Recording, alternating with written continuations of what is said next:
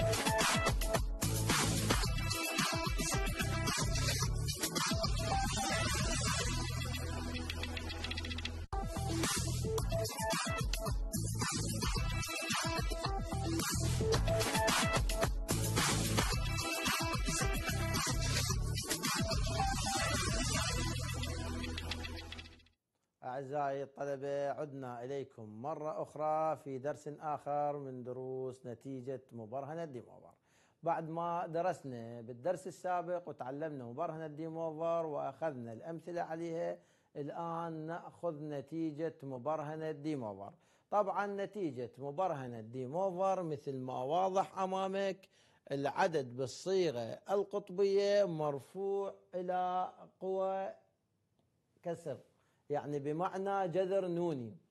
هذا شلون راح يكون بتطبيق مبرهنة ديموفر راح يكون يساوي R أس واحد على n بمعنى الجذر النوني لل R أما الواحد على n يتوزع أيضا على السعة cosine واحد على n زائد i sine واحد على n. لاحظ هنا السعة الثيتا راح تكون بالشكل ثيتا زائدا 2 k. pi. وهنا أيضا ثيتا زائد 2 k. pi. وبالتأكيد راح تقول لي أنا أعرف الثيتا وأعرف ال two واعرف ال pi لكن ما أعرف ال k. راح أقول لك ال k يبدي من الصفر صعودا صفر واحد اثنين ثلاثة إلى أن نوصل الآن. ناقص واحد هذا هو الآن المعطى بالسؤال. راح هنا ينطيني عدد جذور. لاحظ السؤال التالي أوجد الصيغة القطبية للعدد. جذر ثلاثة زائدا آي تربيع ثم جد الجذور الخمسة له. ممكن يضيف لنا بالسؤال باستخدام مبرهنة ديموفر وإن لم يضف مبرهنة ديموفر فعندنا الجذور لازم الخمسة تنوجد باستخدام ديموفر الأعداد المركبة إذا نبدأ حل السؤال جذر ثلاثة زائدا i تربيع. يفتح هذا القوس بقانون مربع حدانية راح يكون ثلاثة زائدا اثنين. جذر ثلاثة آي زائد آي تربيع اللي هي سالب واحد. إذا راح يكون عندنا اثنين زائدا اثنين جذر ثلاثة آي. نضع العدد للصيغة القطبية. إذا من هنا الصيغة الديكارتية إلى هذا العدد هي اثنين واثنين جذر ثلاثة. R يساوي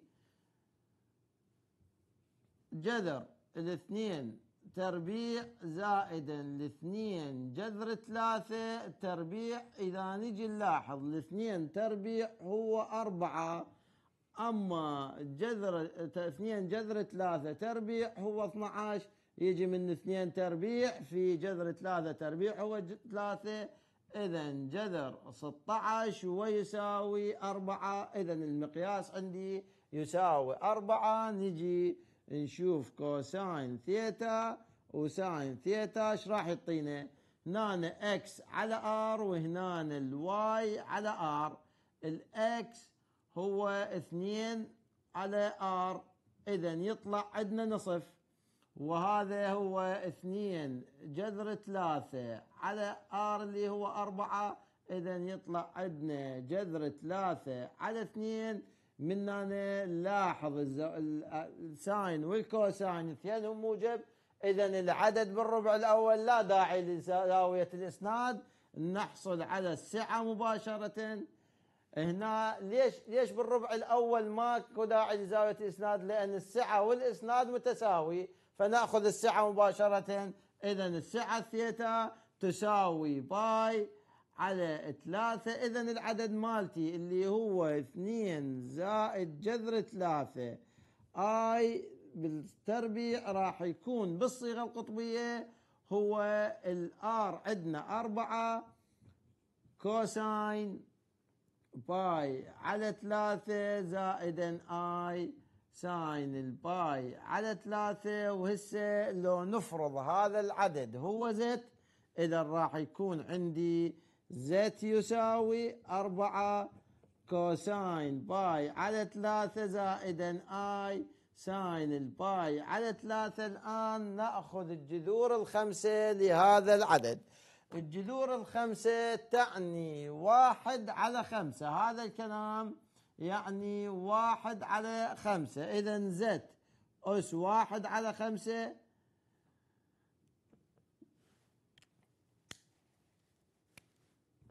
z أس واحد على خمسة يساوي. أربعة للأس واحد على خمسة cosine. pi على ثلاثة زائدا i. sine. ال pi على ثلاثة أس واحد على خمسة بتطبيق. المبرهنة عزيزي الطالب راح يكون عندنا واحد. على خمسة لاحظ السعة إيش راح تكون تكون pi على ثلاثة زائد two k pi زائدا i sine واحد على خمسة pi على ثلاثة زائد two k pi حيث ال k تساوي صفر واحد اثنين ثلاثة أربعة. قلنا n ناقص واحد نتوقف. عدها الآن راح نبدي نعوض قيم كي لإيجاد الجذر الأول. نقول له عند كي تساوي صفر. راح نحصل هذا الجذر الأول. إذا إيش راح يصير؟ لو نعوض هنا كي صفر راح يصير عندنا زت 1 الأس واحد على خمسة يساوي الجذر الخامس للأربعة. cosine هنا يصير عندنا pi على 15 زائدا i sine ال pi على 15 لاحظ عزيزي الطالب هنا الزاوية مالتنا مو زاوية خاصة. راح نكتفي إلى الصيغة القطبية ما راح نبسط. شلون نعرف الزاوية الخاصة؟ بعد التبسيط إذا كان المقام واحد اثنين ثلاثة أربعة ستة ذولا زوايا خاصة. يعني من الواحد للستة دون الخمسة. أما غير ذول الزوايا فلا تعتبر بزاوية خاصة يبقى العدد بالصيغة القطبية. الجذر الثاني عند كي تساوي واحد. من نعوض هنا الكي واحد راح يكون عندنا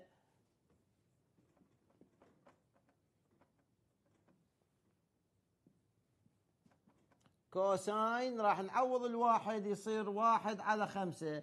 هنا يصير اثنين pi بتوحيد المقامات. إذا راح يصير واحد على خمسة pi على ثلاثة زائدا اثنين pi. زائد i sine واحد على خمسة pi على ثلاثة زائد اثنين pi. بعد التبسيط راح نحصل الجذر الخامس للأربعة. cosine هنا المقام راح يصير سبعة pi والمقام خمسة عشر زائد i sine سبعة pi. على خمسة عشر لاحظ عزيزي الطالب الزاوية. ليست خاصة يبقى العدد بالصيغة القطبية. ونتجه إلى الجذر الثالث. عند k تساوي اثنين. عند k تساوي اثنين راح نحصل الجذر الثالث.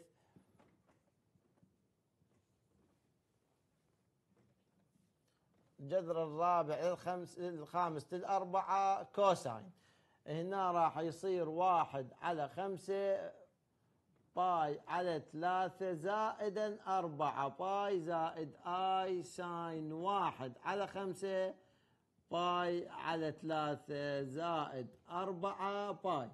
راح نحصل على الجذر الخامس للأربعة cosine.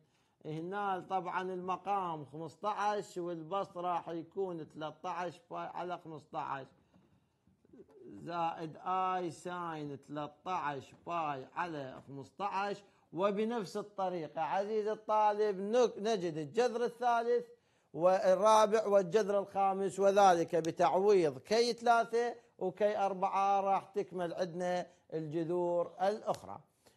مثال آخر وهو مثال آخر لتطبيق نتيجة مبرهنة ديموفر وذلك عن طريق أسلوب حل المعادلة أي أن حل المعادلة x تكعيب زائدا واحد يساوي صفر في C باستخدام مبرهنة ديموفر. طبعا هي بالحقيقة نتيجة مبرهنة ديموفر. عزيزي الطالب إذا ذكر بالسؤال حل معادلة باستخدام مبرهنة ديموفر خطوات الحل هي أربعة. الخطوة الأولى هي ترتيب المعادلة. شلون راح نرتب المعادلة؟ هذه المعادلة x تكعيب زائد واحد يساوي صفر. نضع المتغيرات بجهة والثوابت بجهة أخرى. يعني نقول له x تكعيب يساوي سالب واحد. الخطوة اللي ضمن الترتيب معامل الاكس تكعيب يجب أن يكون يساوي واحد أي مع المتغير إذا كان غير الواحد نقسم على المعامل. هنا هو واحد نأخذ الجذر النوني للطرفين راح يكون عندنا ال x يساوي سالب واحد أس واحد على ثلاثة. هسه إذا تلاحظ أصبح عندي هذا الشكل يمثل نتيجة مبرهنة ديموفر إذا راح نقول له let z يساوي سالب واحد. وهنا زائدا صفر آي وهنا حتى نحوله للصيغة القطبية. أكو طريقتين قلنا الطريقة الاعتيادية والطريقة اللي خاصة اللي شرحناها في بداية دروسنا. راح يكون من هنا عندنا نقدر نكتب العدد. زيت يساوي واحد في سالب واحد هذا راح يمثل عندي الآر. وهذا من هنا حسب التوزيع اللي ذكرناه. هنا راح يكون واحد سالب واحد i سالب i. اذا الزاوية مالتي راح تكون باي. اذا الثيتا تساوي باي. والار واحد. اذا زت يساوي كوساين باي زائدا آي. ساين الباي والواحد هو الآر. حسه نجي نطبق نرجع على الأس اللي تركناه اللي هو واحد على ثلاثة.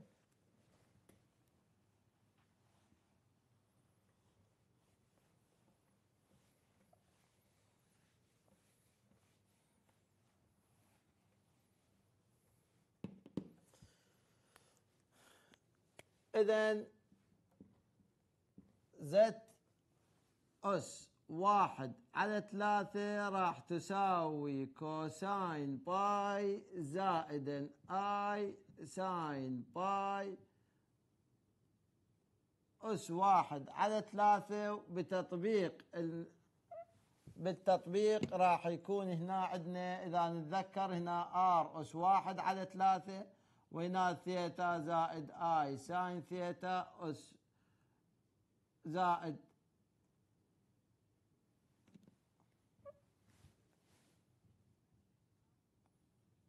ثيتا زائد 2 كي باي زائد اي ساين ثيتا زائد واحد على ثلاثة ثيتا زائد 2 كي باي هنا حيث ال k تساوي صفر واحد اثنين. الثيتا إحنا عندنا قبل قليل استخرجناه هي pi اذا هذا راح يكون عندنا هنا pi وهذه الثيتا أيضا.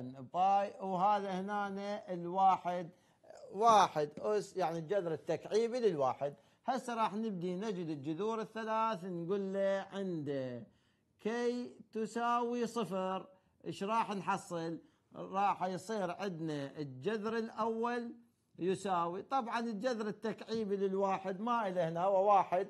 لكن إذا ما كتبناه ما له داعي راح يكون عندنا cosine pi على ثلاثة زائدا i sine ال pi على ثلاثة ويساوي cosine ال pi على ثلاثة اللي هي واحد على اثنين زائدا جذر ثلاثة على اثنين i هذا هو الجذر الأول. الجذر الثاني راح نقول له عند k تساوي واحد.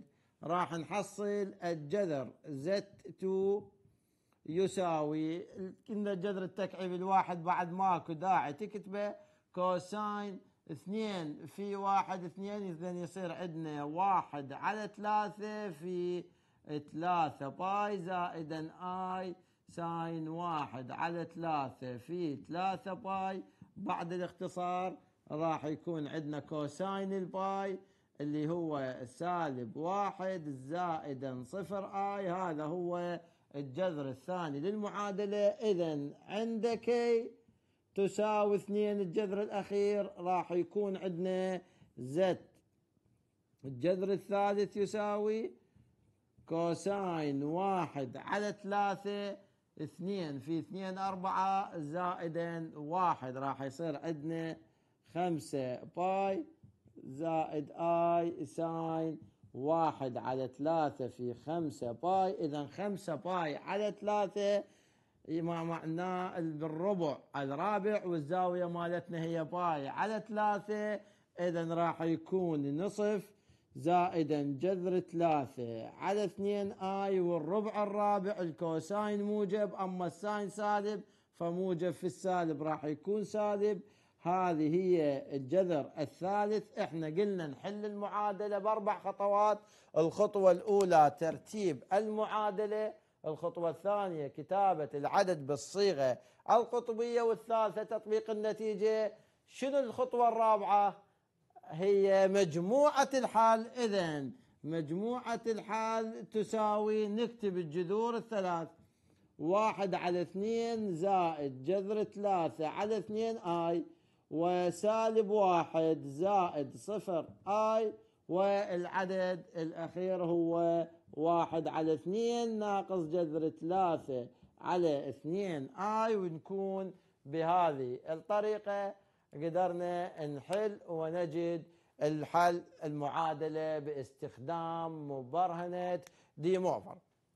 إذا ممكن عزيزي الطالب يغير لي السؤال ويعطيني سؤال آخر نتطرق إليه كالتالي أيضا. ممكن يقول حل المعادلة باستخدام مبرهنة ديموافر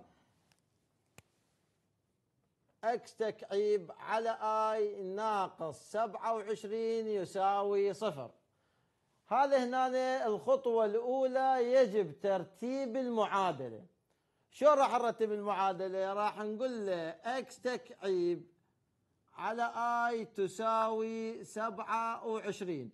أما نضرب في i أو نقول له وسطين في طرفين راح نحصل ال x تكعيب يساوي 27 i ترتبت المعادلة لاحظ المعامل واحد هسه نأخذ الأس الثالث الجذر الثالث للطرفين.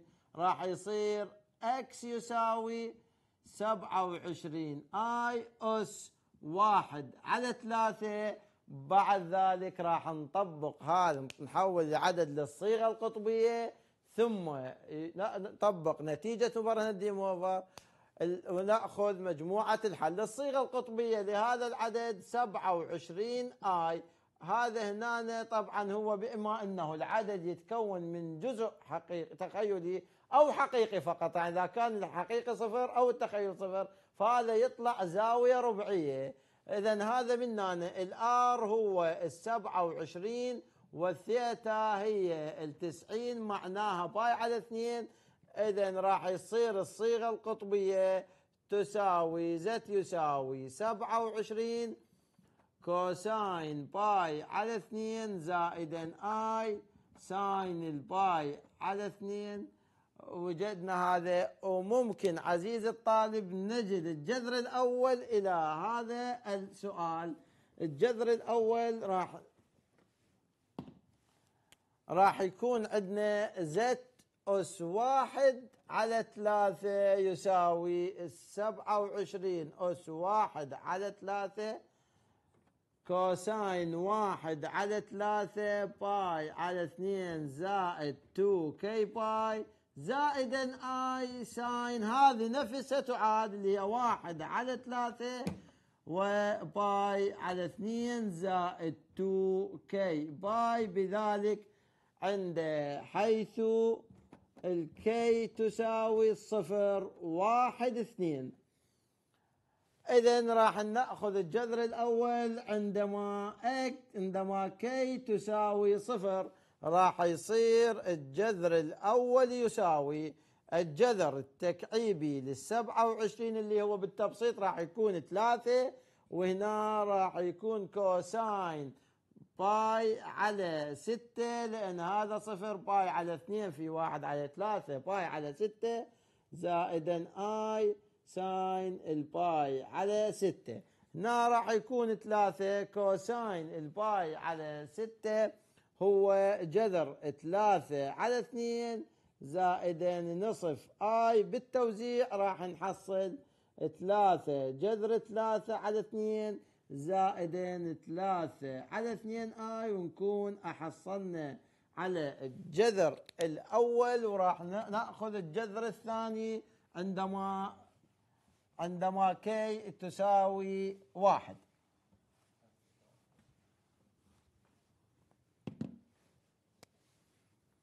عند كي تساوي واحد.